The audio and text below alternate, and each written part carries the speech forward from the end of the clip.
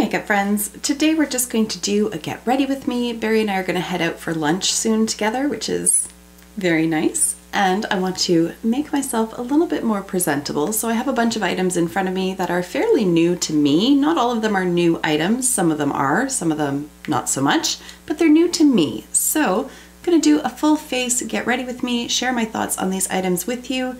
Let's just get straight into it.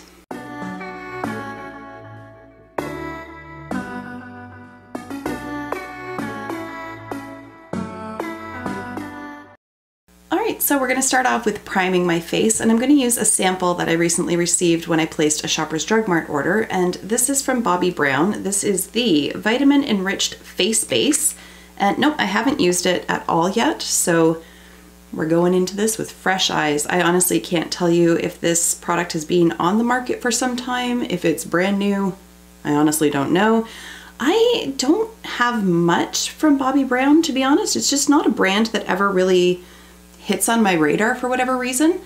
The products that I do have from them, the um, gel infused lip oil, lip gloss, or oil infused lip gel, some combination of those words. I really like those. I also really like their lipsticks. They're crushed lipsticks, I think they're called. Uh, but I haven't really explored their face products, their eyeshadows, anything like that. So if you have recommendations from Bobbi Brown, let me know. But I can say right out of the gate, this is a little bit of a thicker consistency, so it's not quite like a face cream, it's thicker than that, and it is very heavily scented. It's not a bad scent, but it's sort of on the line of floral slash citrus. Kind of has like a grapefruity kind of smell to it. Not an off-putting smell, but very strong. So if you're sensitive to scents, I don't think you're going to enjoy this one, but it's blending out nicely. It doesn't have any sort of silicone feel. It kind of feels just like a skin cream, but thicker. So that's not to say it feels heavy. It just, I don't know. It's initial first impression. We'll see how it feels throughout the day, but right now, mm, I'm jury's out. I'm not entirely sold on it. It's a slightly bit tacky, which is fine for a base. I don't know. Not an instant love. It's okay. Anyways, let's just move on to a foundation. So I've got one here from Essence, and this is the Pretty Natural Hydrating Foundation, which I have in the shade 030 Neutral Ivory. And I did order this online from Shoppers Drug Mart, and as much as I love Shoppers Drug Mart, their website is very difficult to navigate, and they don't have a great selection of like swatch pictures, and they also don't describe what the shades are. So I always have to kind of cross-reference with the actual um, like Essence website and whatnot to try to help myself out a little bit. So I know I have used this one before and I think I did a fairly good match, but Shoppers Drug Mart, please up your game a little bit. Help people out because it's really difficult when something's called neutral ivory to know what that really means. Like I, I understand that it's neutral, but everybody has different ideas of what ivory is. And then things that are just like happiness, I, I don't know. Am I happiness? Am I joy? Am I glee? Like, I don't know what that means. You have to explain what those shade names are. Anyways, let's move on. Oh, you can see I've got a little bit of bruising here. I don't know if it'll show up under these lights, but I can see it in the mirror. It's turned yellow now. I've got just a tiny bit of bruising here from my recent Botox.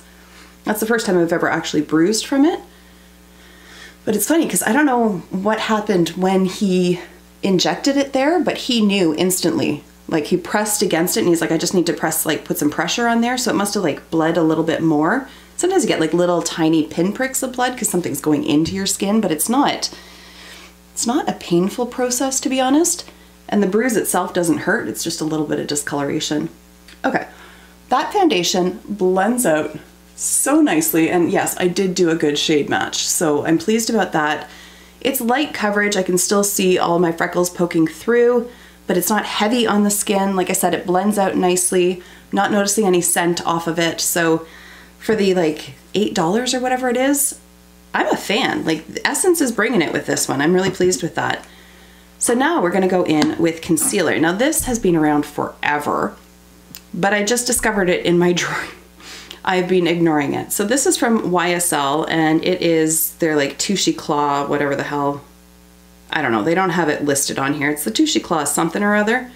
And I have no idea what shade it is. I There's absolutely, I'm guessing two. There's like a two on the very bottom, but not very good branding in terms of helping a girl out. But you just, it's one of those guys that you got, oh, wow. And he's really generous. That's the problem that I don't like with the clicky things is like, you never know how much. Sometimes you have to click like 342 times for like a drop to come out, and other times you click three times and half the tube empties. So here we go. Now I know that I have used this before, but I don't remember being like super impressed with it, especially considering the price point. I know I got this one on sale because it's got like the little stars on it, and I'm pretty sure I got it after holidays last year. But I clearly have not been in love with it or else it wouldn't have been languishing at the bottom of the concealer drawer. So I figured today would be a good day to bring it out, see how we feel about the coverage, all of that, and put it to the test. So I need a brush for this. I just washed all my brushes, so there we go.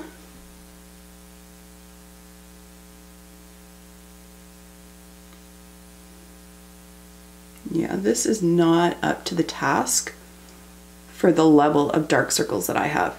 And once again, I should have done just one side, but it's really not doing a lot of coverage. This might be good like as an everyday kind of concealer, like if you don't want a lot of coverage. But my dark circles are fairly aggressive they're quite assertive. They like to be seen. And this is just not going to cut it for me. I mean, it blends out nicely, so there's that, but I don't really think it does much for me. Meh. That's okay because I figured that was going to be the case, so I brought this guy out. I have talked about this one before. This is from Bare Minerals and it's their powder concealer the uh, Eye Brightener Broad Spectrum SPF 20 Sunscreen something or other in Well Rested. It's a lot of words. It's a powder concealer. Just remember that. And if memory serves with this one, because again, it's been a while since I used it, a little goes a long way. So I'm just going to pick up a little bit, tap it out. This is the weirdest brush ever. I need to share this with you. This is from uh, Delium Tools, and it's the Golden Triangle 792 Double Dome Blender.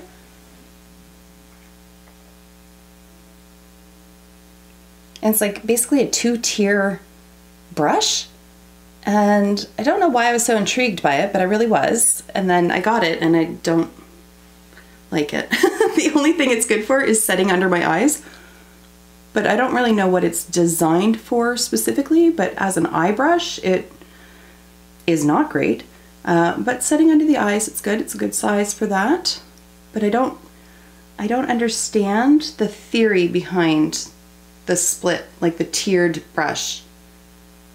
I don't understand what that is meant to accomplish. I'm sure it's meant to be wildly innovative, but I've just found that it's kind of a pain in the ass, to be honest. So it might be one of those things that's better in theory, but practically speaking, not so much. But there, that powder concealer definitely helps to amp up the coverage. And I don't really like the powder concealer just on its own. It is workable just on its own, but I do like having some sort of base under it. So whether I use like like an eye cream or something that's just a little bit tacky to help it sort of stick into place, but also setting a lighter coverage concealer with it works. Okay, gonna do the other eye and then we'll move on to cheek products. All right, so now to add some color to my face, I'm gonna go in with this cream bronzer from Tarte. This is the Breezy Cream Bronzer in Seychelles.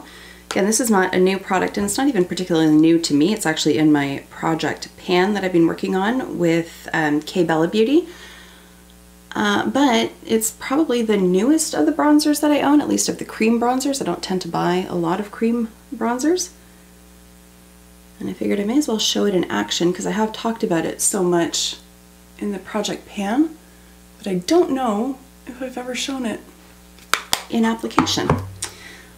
But I'm just going to blend it out with this brush from Real Techniques. This is the contour brush, but I like it for the bronzer because it's just so little, but it's also dense, so it blends that cream product out nicely.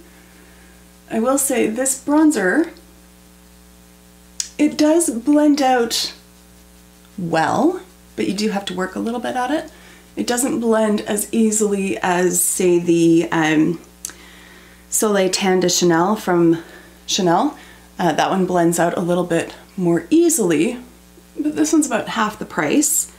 And I have heard multiple complaints that Chanel has reworked the formula of that Tan de Chanel or whatever, their cream bronzer, let's call it, and people are not overly happy with it. I think they now have like coconut oil in it or something, and it's just, I know a lot of people have had reactions to it with their skin. I have the old formula, so I can't speak to that myself, but I do like that one a little bit better in application than this one, but this one's totally workable. As you can see, it has a nice undertone on my skin. Like it does warm my skin up without being too artificial or too orangey. And my complaints about blending it out are very, very minimal. I mean, as you saw, I applied it everywhere and now I'm going and blending and this side isn't any more stubborn than the first side that I tried. It's just that it doesn't blend as easily. So I just spend a little bit extra time, but for like the $30 price point difference, I'm okay to just swirl a brush on my face for a few extra seconds. It's totally fine. All right, with bronzer in place, let's move on to blush. And I picked up the new little holiday kit here from Fenty. So I've got the cream blush and the um, gloss bomb as well. And they're both in, what is this, Peach Face? Are they both called Peach Face? This one's Peach Face, this one's Peach Pout. That makes sense, but I'll show you. That's what she looks like. And I was really impressed with their holiday kit in 2020. So far, I gotta say, I'm really liking this one too. I am not sure though if this would show up on deeper skin tones. I know my friend Karen Harris purchased this as well. And I have to admit that I have been a bit of a bad friend and have not watched everybody's videos that I have wanted to. I've just been basically wallowing in my own misery for the past like month, but she might have done a review. I'm not entirely sure, but she always does tan girl friendly reviews and she's got a deeper complexion than me. So if ever you're curious about how something shows up, there's a good chance she's reviewed it because she does do a ton of reviews. But there we go, pretty little peach. And then I'm going to use one of the brushes from Clionadh Cosmetics. This is their, uh, doesn't say on here. Well, this is what it looks like. It's like an angled powder brush of some sort. But I really like it for blending out cream products because I like the angled shape and it has just the right amount of density to really blend cream products. You can use it with powder as well, but I just, I really like it for cream products there. I just, I think this blush is so pretty. I don't know that it's my favorite shade of their cream blush. I really like the one that they came out with last year. What was that called? Fenty Glow. Fenty Glow. This is the one they came out with last year for holiday. Oh, and I just gouged my fingernails into it. Oh, son of a gun. It looks horrific in the pan, but once you apply it to your cheeks, it actually does look very natural on the skin. But this one's really pretty as well. It's peach without being like super artificial about it. So I like this one, but now I gotta go get all this out of my fingernails. All right, I don't have a new cream highlighter, and in fact, I don't have a new highlighter that I haven't already shown on camera, but when I recently redeemed some Shoppers Drug Mart points, I picked up this blush from NARS. So going back to what I was saying about there's not great shade descriptions or swatch pictures on the Shoppers Drug Mart website, I fell victim to that with this one. So this is the shade Tempted. Again, I don't think it's new, but it's new to me, so here we are. I thought it was going to be a matte blush because it looked matte in the picture, but it's very glowy. So I'm actually gonna use this as highlighter today, but first I'm going to set my face with some Laura Mercier powder. Not new, you've seen me do it a million times, so I'm just gonna skip over that. We'll come back for highlighter. All right, face is set, so let's go in with the shade Tempted, and I'm gonna pick it up on a new brush to me. This is from Sigma, and it's the Powder Sweep F06. I really have been enjoying this for highlighter because it is so precise yet so fluffy that it still blends everything out nicely. So let's pick some of this up and see, see how we get on with this. I'm concerned it might be a little bit deep to use as a highlighter for me. But hmm, it's not doing too badly. It's definitely not a highlighter, like it is a blush, so I'm just kind of playing fast and loose with that.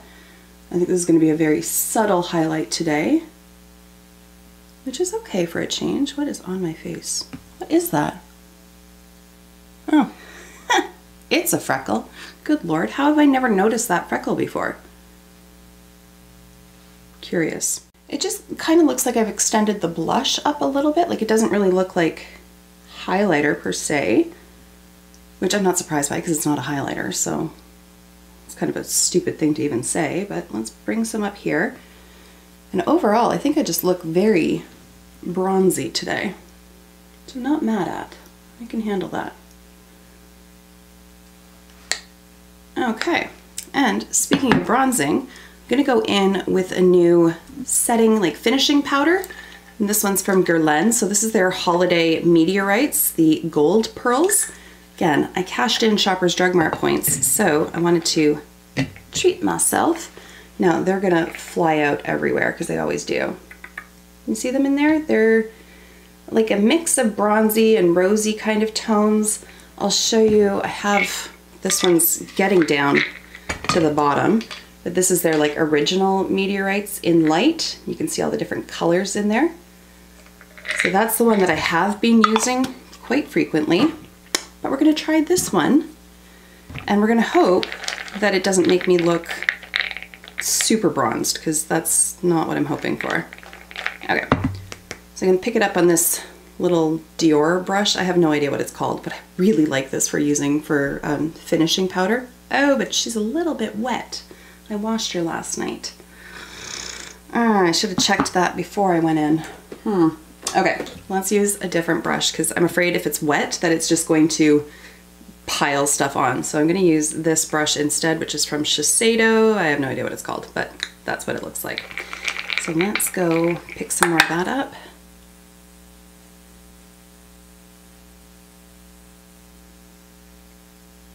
I don't use a lot when I use these meteorites. So I don't find that you really need to use a lot. But it does just help meld all the powders in together, especially if I'd use like a powder blush and bronzer and highlighter.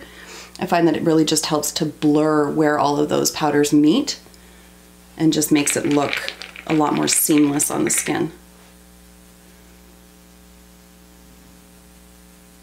But I don't think that this is really adding a ton of color, which is good. I didn't want it to. I really didn't want it to. But it just makes your skin look super healthy. Like you get like this lit from within kind of thing. It's not like glittery. It's not even particularly shimmery. There's just like this very soft luminescence to it. I love that. All right, now we're ready for the fun stuff. So I've got a palette here from Prolux, and this is the Hello Autumn palette. And she's so beautiful. it's so gorgeous. Uh, this shade I'm not super wild on though. This one reminds me of the ones from Huda with like the, the Petri dish shades. It's very pretty once it's actually swatched out, but it's got like a very sort of emollient base to it. And then it's like this beautiful coppery kind of shade, but I don't understand why brands are doing this. It's a very off-putting texture. I don't like the look of it, but like I said, it is very, very pretty once it's swatched out. So I have been playing around with this palette a few times. I've worn it to work quite a few times. I am really impressed with this. It's not a brand that I've, I think I've ever heard anybody talking about, to be honest, but I saw this come up on Instagram and the color story just like screamed my name. So add it to cart. It was $13. I think it was $13.99, I think. Shipping to Canada was a little bit pricey. I can't remember off the top of my head, but $13, $14 for how many shades are in here? 18? and it performs really well? Hell yeah. So let's go ahead and put it on the eyes and I can show you what I'm talking about. Also, I did do my eyebrows off camera. I used the ABH tinted brow gel. I don't even know what it's called, in deep brown. I just run it through. I don't do anything exciting with my brows, so it's not really worth talking about. Okay, what are we gonna do with this? Because I can pull things that are a little bit more on the pink side, or I can make it a little bit more neutral and go gold. You know what? I wanna go more pinks because I wanna use this like duochromatic shade in here because it's so pretty. So I'm gonna start off with this pink shade over here and run that through the crease and up towards the brow as a transition shade.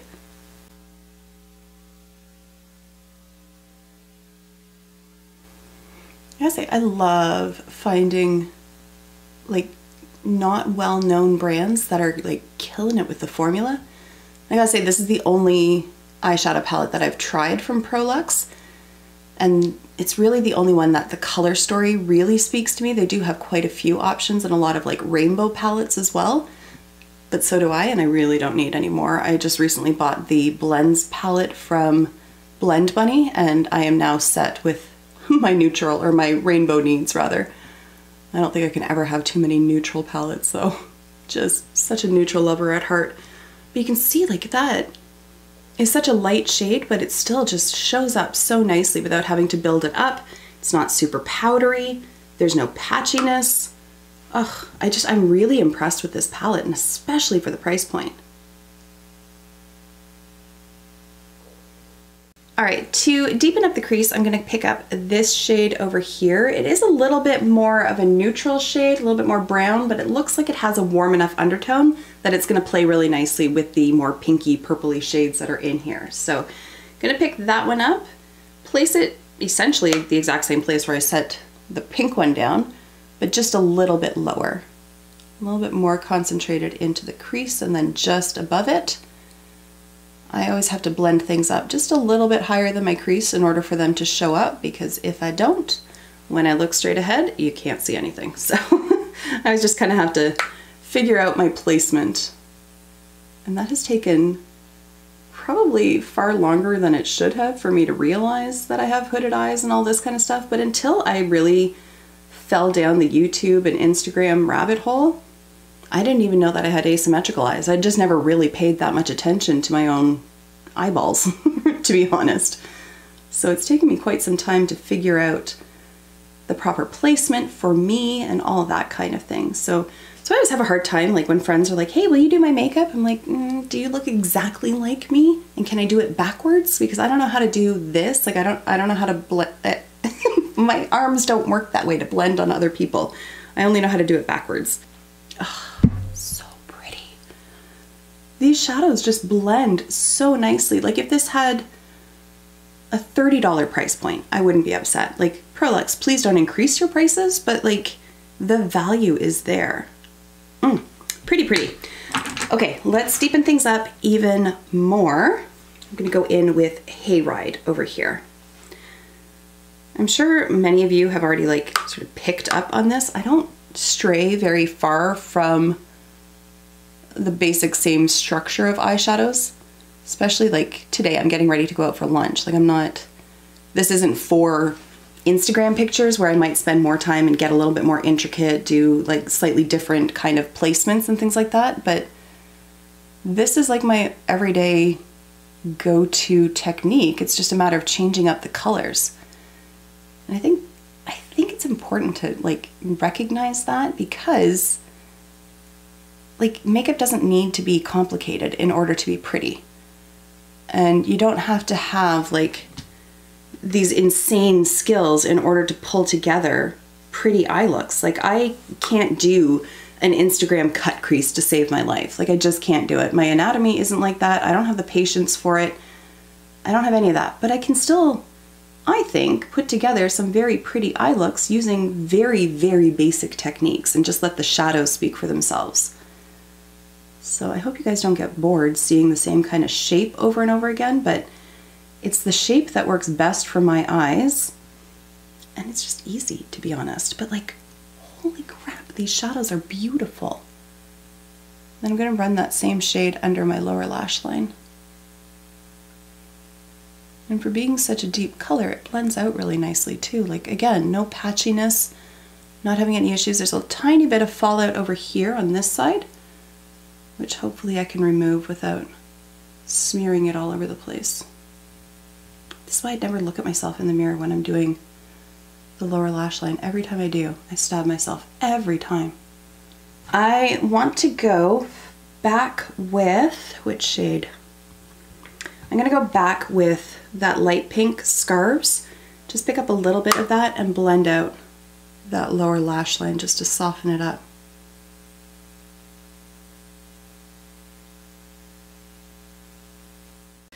All right, so now it's time for this duochromatic shade. And I'm just gonna pick it up with my finger, to be honest, because that's the best payout, although these do pick up really nicely with a brush as well. But hopefully my camera will be able to pick it up. It's a bit of like a gold to peach kind of shift, and it's really pretty. I'm just gonna put that on the inner portion here and over to like maybe a little bit past half. Oh, it's so pretty.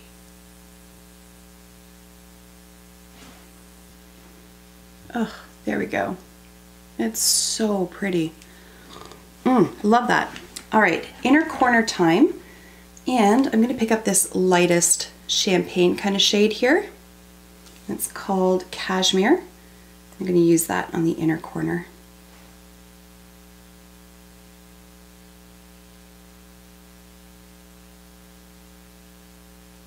And just run a little bit of it under my brow bone as well. And having worn these to work, I haven't experienced any issues with like fading or creasing, any of that. It will show a bit of wear after like seven or eight hours, but frankly, so do I, so can't judge it too harshly. But it's still there. Like it's not like it's just completely disappeared. It's not all like bunched up in the crease of my eye. It holds up really well. I have no complaints about this. Okay, there we have it. I'm going to use my Tom Ford liner. Not gonna do wings or anything, I'm just gonna line the lash line and then we'll come back and play with a mascara that's new to me but not new on the market. So I'll be right back. Okay, so the mascara that I'm gonna use is from Urban Decay and it's the Lash Freak. It's no Bite Beauty Upswing. And also, I don't, what in the hell is going on with this blonde? Like, what, what, what is that? I don't, I don't know. I'm all for innovation, but this just seems unnecessarily complicated. I don't, I don't get it. but anyways, let's apply it. I have worn this a couple of times, but it's not the Bite Beauty Upswing Mascara that has become my touchstone. Like all mascaras now have to reach the standard that Bite Beauty has set.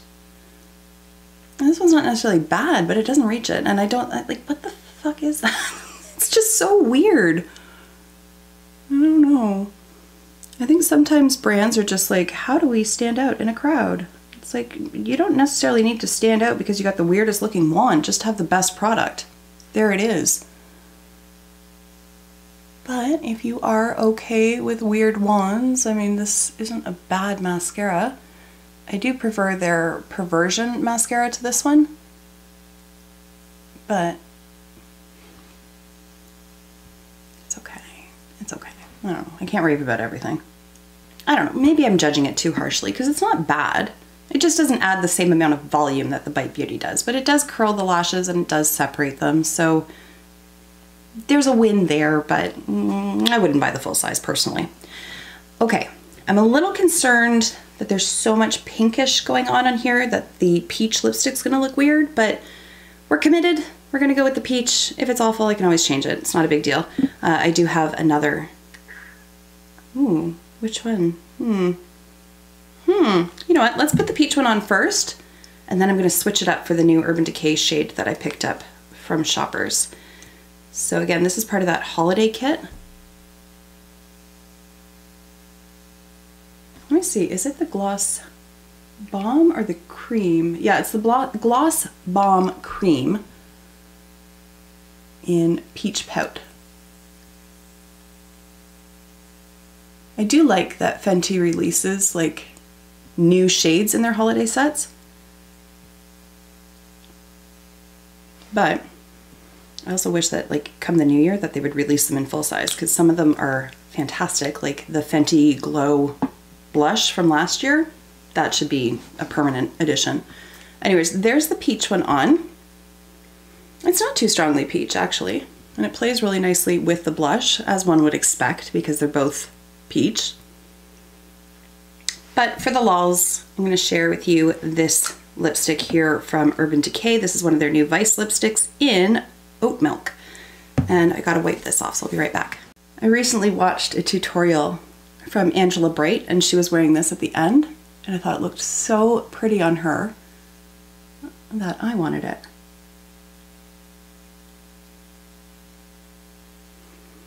And it's like almost concealer lips.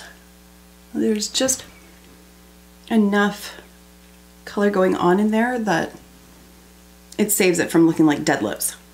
But I think it's so pretty. And in fact, this might actually layer nicely underneath that peach gloss. So why don't we try that? And then we'll call this thing a wrap. Oh, but it's such a pretty shade. I really like that, especially like if I had like a darker smoky eye and then this lipstick. Mmm, yes. Okay, let's, I'm not usually one to layer gloss on top of lipstick, but let's just see what happens.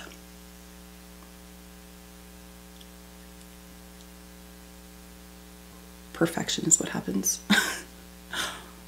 oh, I like that so much. It just really punches up like the creamy aspect of this. Oh, I like that. I like that a lot. All right, so there we go. I am now ready for my lunch date with Barry, and I'm sure he is very ready to go because it's like 1.30 in the afternoon. So I just wanted to share the makeup with you. I will list all these items down below and put links to what I can. But other than that, that's the video. Let me know what new products it is that you've been playing around with. What have you been loving? What have you not been loving? All that kind of good stuff. But for now, I'm gonna wrap the video up here. Thank you so much for taking the time to watch. I'll see you in the next one. Until then, just be a decent human being. Bye for now.